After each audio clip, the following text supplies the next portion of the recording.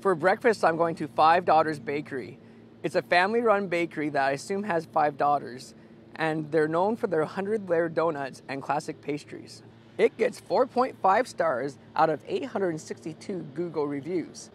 I am taking my donuts down to Shelby Park, a 20 minute walk away, where you see the like button. So I've heard a lot of good things about these 100 layer donuts, and especially the maple one. People seem to really like this one for some reason.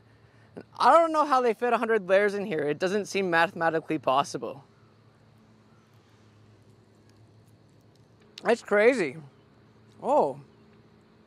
Yeah, there's a there's a lot going on here actually. So there's not 100 layers in here, it's more like 7 or 8, but I'm not complaining. This thing is pretty darn good. In between the layers, there's this cream filling. The donut is just nice and soft and they got uh, a bit of crunchiness on the outside of it from the uh, powdered sugar. And the maple is quite nice. It's not overly sweet either. It's just got the right amount of sweetness to it. It's kind of like biting into a tasty cloud.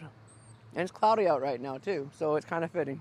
The, the cream filling is really nice because it adds some moisture to this donut. And uh, I like it moist. oh man, sometimes.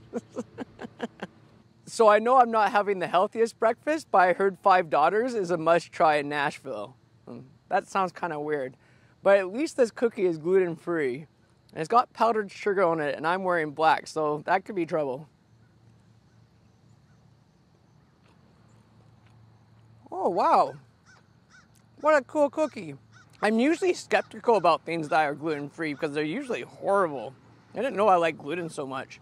But this is a pretty awesome gluten free cookie. It's kind of crunchy on the outside and um, kind of chewy in the middle, but still kind of crunchy in a way. But I kind of like that. And uh, it's got some nice chocolate chunks in it. No, right at the end, it kind of gets a, gives you a little bit of a punch of sweetness but it's not too sweet either. It's kind it's weird. This thing's freaking weird. I'm almost enjoying this more than that donut. So while you're in Nashville, you gotta try Five Daughters. I mean the bakery.